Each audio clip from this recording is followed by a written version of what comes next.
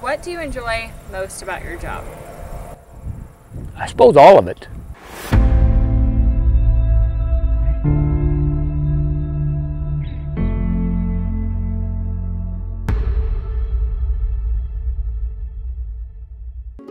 I've been with MKC for 25 years. Tender truck driver loads the truck. We haul chemicals and fertilizers and water to spray rig drivers and dry spreaders. When we're not spraying or putting on fertilizer, we're usually hauling grain for the company. A typical day, well, They start pretty early. Usually I get to the plant about 7 o'clock and there's always going to be something different going on. I'll be maybe even driving a different truck every day or two or three times a day. Depends on what the work orders are that need to be done. We'll usually be loading trucks, mixing chemical. You never know until you get to work the next morning.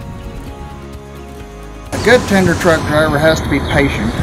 I think being able to get along with most people helps a lot. Work ethic, being ready to go to work every morning, My favorite part of work with MKC is the time we start in the morning, the day, most of the time we're done by six or seven o'clock at night. Usually we have weekends off. Gives me time with my wife, my family, my kids and my dogs anyway, so it's just a, it's a, it's a good package.